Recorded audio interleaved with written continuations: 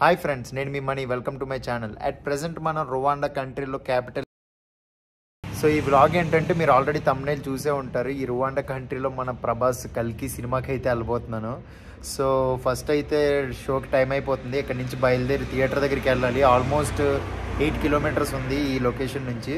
So once వెళ్తూ మాట్లాడుకుందాం మిగతా డీటెయిల్స్ ఒక పక్క సినిమాకి లేట్ అయిపోతుంది. ఇక్కడేమో ఫుల్ ట్రాఫిక్ మామూలు లేదు ట్రాఫిక్ అయితే. ఇంకా సినిమాకి అయితే లేట్ అయిపోతుంది. మొత్తం అసలు టికెట్లు ఉంటాయో ఉండవో అసలు షో వేస్తారో వేయరో ఏమీ తెలియట్లే. చూడొచ్చు మొత్తం అన్ని బైక్సే. ట్రాఫిక్ జామ్ అయిపోయింది. ఒక్క ట్రాఫిక్ పోలీస్ కూడా లేడు. ఏంటో ఇది? నైట్ టైం ఉండరా ఏంటో మరి ట్రాఫిక్ పోలీసులు? అమ్మ ఎవడెవడు ఏ రూట్లో వెళ్ళిపోతున్నారా? ఈ రూట్లో వెళ్ళాలి మనం. కానీ కిగాలేది నైట్స్ నైట్ వ్యూ మాత్రం సిటీ వ్యూ చాలా బాగుంది. కొంచెం హిల్లో ఉంటుంది కదా అప్పులో. అందుకని వ్యూ అయితే అదిరిపోయింది నైట్ టైం కాకపోతే పెద్దగా నైట్ లైఫ్ అయితే ఇక్కడ లేదు. జనాలు అయితే లేరు. ఎందుకంటే ఫారెన్ టూరిస్టులు తక్కువ కదా. సో అందుకని అంత ఏం లేదు. ఇంకా కుర్రోడు వెయిట్ చేసి వెయిట్ చేసి ఇంకా ఫుట్పాత్ అయితే ఎక్కించాడు బండిని. ఇంకా ఇలా ఇలా వెళ్ళనివ్వరు. ఇంక ఇలా అయితే లేట్ అయిపోద్ది మీకు అని చెప్పి ఫుట్పాత్ ఎక్కిచ్చేసాడు.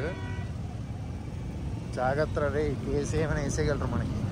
మళ్ళీ డబ్బులు మమ్మల్ని కట్టమంటావేమో.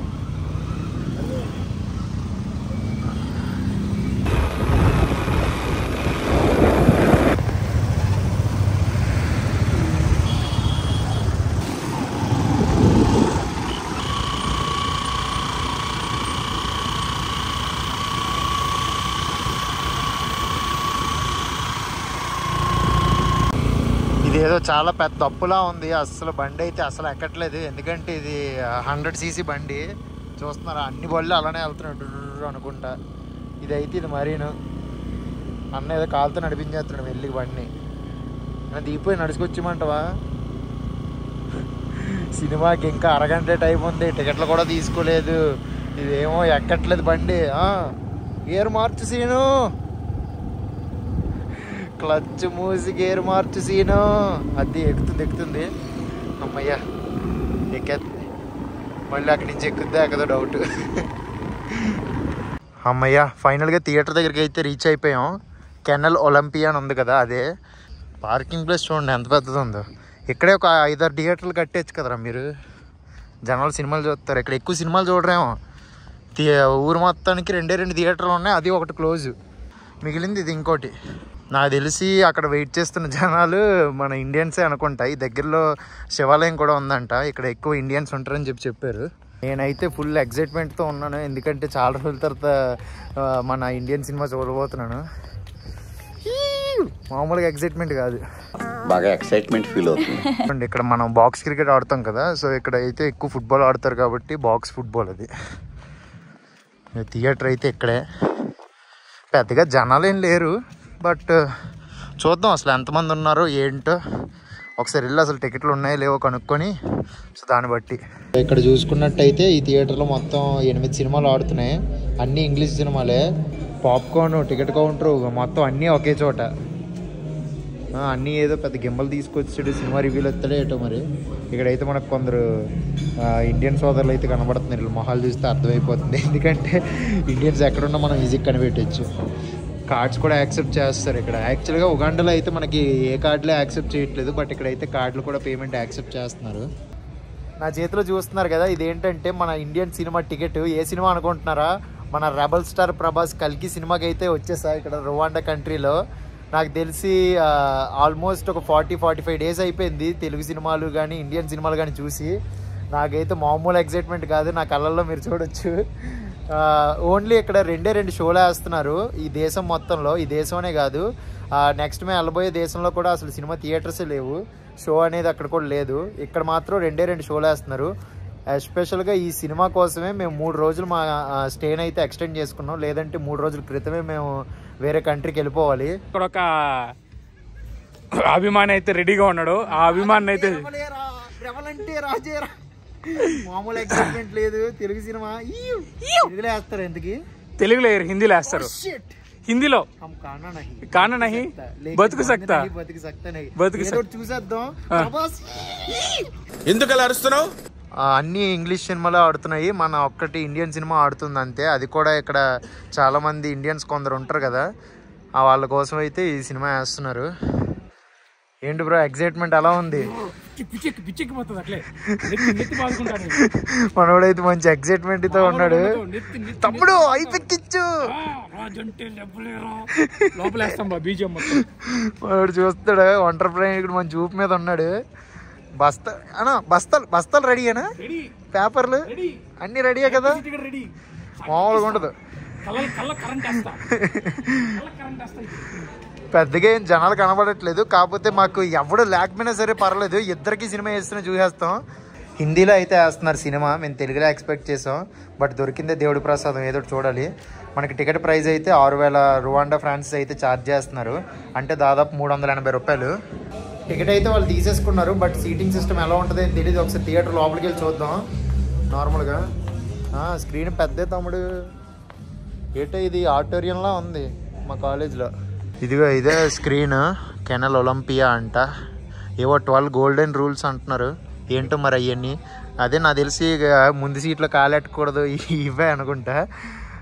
సీటింగ్ సిస్టమ్ అయితే చూడండి ఎలా ఉంది. మొత్తం ఆడిటోరియం ఉంటుంది కదా. ఆడిటోరియంలో వేస్తూ ఉంటారు. మామూలుగా లలిత కళలు ఇలాంటివన్నీ ప్రదర్శిస్తారు కదా.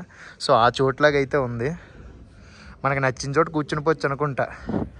పేపర్లు బస్తాలు అయితే ఇస్తే ఇసిరిసేవాడిని ఏం లేవు కదా మరి ఏం చేస్తాం? ఇంకొందరు జనాలు అయితే వస్తున్నారు. రండి రండి రండి. వస్తే పర్లేదు. అందరూ కలిసి అరవచ్చు. సో ఏ వీడియో మే మే హిందీ మే రివ్యూ బతా దేగా. నాకు వచ్చిందే నాలుగు ముక్కల హై. హిందీ మే పూరా దేఖతే దేఖతే కే బాద్ క్యా క్యా దిక్తా హై తుమ్?